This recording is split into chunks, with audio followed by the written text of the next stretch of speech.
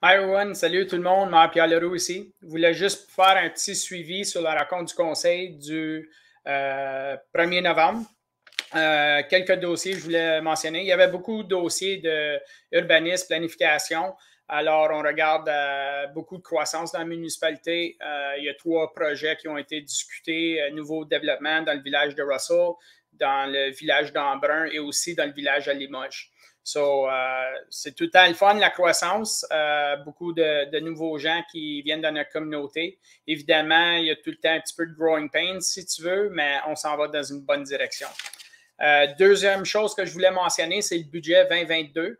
Le Conseil a approuvé le budget avec une augmentation de 2,5% sur ça, il y a 1% qui s'en va spécifiquement pour le projet du complexe récréatif qui va venir dans les prochaines années aussi 1% d'augmentation dans les fonds qu'on met euh, pour les chemins, les routes. Euh, le 24 novembre à 19h, je vais avoir une session euh, en direct avec le trésorier de la municipalité sur les médias sociaux. Alors, si vous avez des questions, il va y avoir plus d'informations qui vont venir dans les prochaines semaines, mais j'ai hâte d'être capable de jaser avec vous, avoir de l'interaction puis répondre à vos questions sur le budget 2022.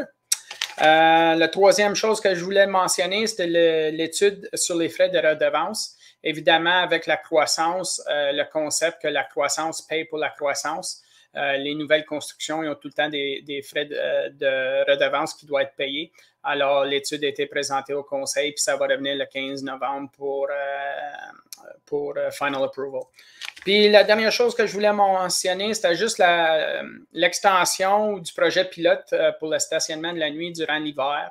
Euh, ça, c'est un programme qu'on a mis en place l'année passée.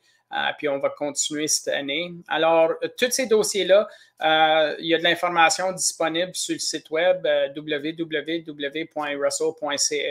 Tu pourrais regarder la réunion sur YouTube ou tu peux regarder les minutes puis les agendas, ces choses-là sur le site web. Alors, c'est tout pour aujourd'hui. Merci beaucoup tout le monde. Bonne journée.